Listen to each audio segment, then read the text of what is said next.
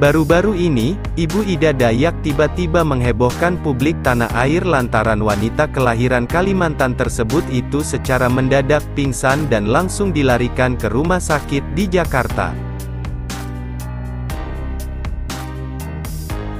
Lewat unggahan foto di Instagram pribadinya, Ibu Ida Dayak terlihat lemas dan terbaring di ranjang dengan selang infus di tangan. Tak hanya itu, ia juga menggunakan selang bantu pernafasan. Di tengah kondisi tersebut, kali ini tercuat kembali kabar jika kondisi Ibu Ida Dayak kini semakin menurun. Bahkan,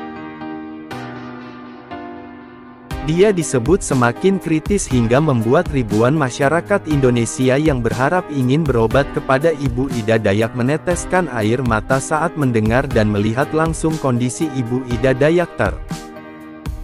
Baring lemas di atas ranjang rumah sakit di Jakarta.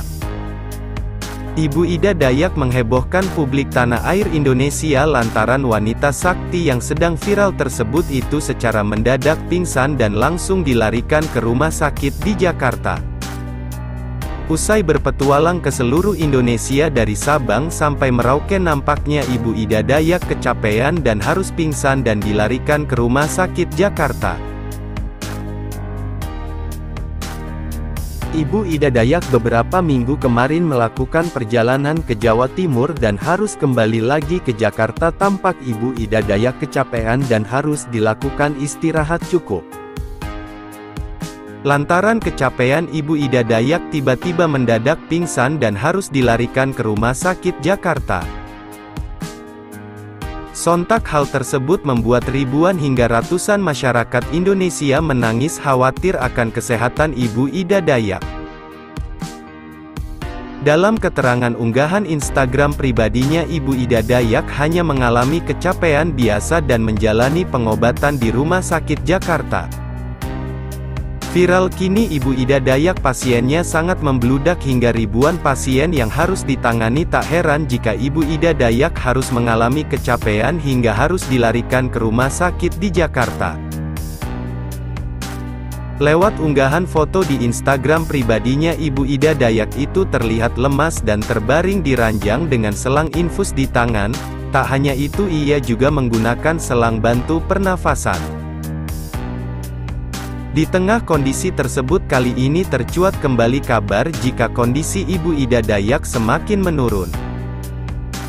Bahkan dia disebut semakin kritis membuat seluruh masyarakat Indonesia khawatir akan kondisi kesehatan Ibu Ida Dayak. Ribuan dan ratusan hingga jutaan masyarakat Indonesia dari Sabang sampai Merauke menaruh harapan dan mendoakan kesembuhan Ibu Ida Dayak agar cepat segera sembuh kembali. Yuk simak lagi berita selanjutnya. Hari ulang tahun PDIP di J Expo Kemayoran, Jakarta memiliki beragam momen menarik untuk disimak seluruh fans Ibu Ida Dayak dan masyarakat Indonesia.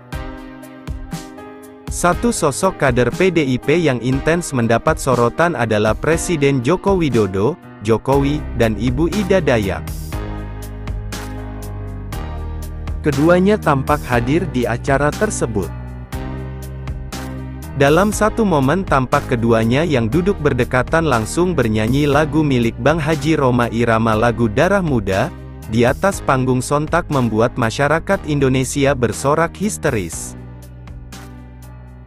Warganet yang menyaksikan langsung heran Presiden Joko Widodo dan Ibu Ida Dayak keduanya hafal dan kompak menyanyikan lagu Roma Irama, Darah Muda tersebut. Presiden Joko Widodo dan Ibu Ida Dayak kompak bernyanyi. Melansir dari akun TikTok @anakdesa.it Minggu Tanggal 21 Mei tahun 2023, terekam momen unik saat Presiden Jokowi dan Ibu Ida Dayak tengah kompak bernyanyi lagu milik pedangdut legendaris Bang Haji Roma Irama, Darah Muda. Momen tersebut diketahui di sela acara hari ulang tahun PDIP. Jokowi yang duduk di kursi depan tampak bertepuk tangan dan mengikuti lirik lagu tersebut yang dibawakan langsung oleh Ibu Ida Dayak.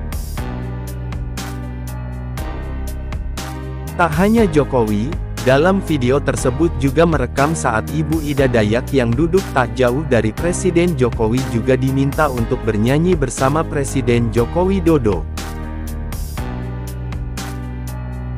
Meski tak berdekatan namun keduanya terlihat kompak dan hafal lagu Bang Haji Roma Irama. Ekspresi bahagia Ibu Ida Dayak kala duet bareng Presiden Joko Widodo sontak jadi sorotan publik. Baik Jokowi maupun Ibu Ida Dayak terlihat santai dan menikmati lagu yang dibawakan oleh Roma Irama di atas panggung. Bak menonton konser secara langsung keduanya sangat menikmati hiburan yang disajikan oleh PDIP. Warganet dibuat salah fokus lantaran keduanya tetap hafal lagu tersebut meski usia mereka yang tak lagi muda. Warganet yang menyaksikan video tersebut ramai memberikan komentar terhadap aksi keduanya. Tak sedikit yang mengomentari bahwa lagu milik Haji Roma Irama menjadi salah satu favorit bagi keduanya. Yuk simak lagi berita selanjutnya.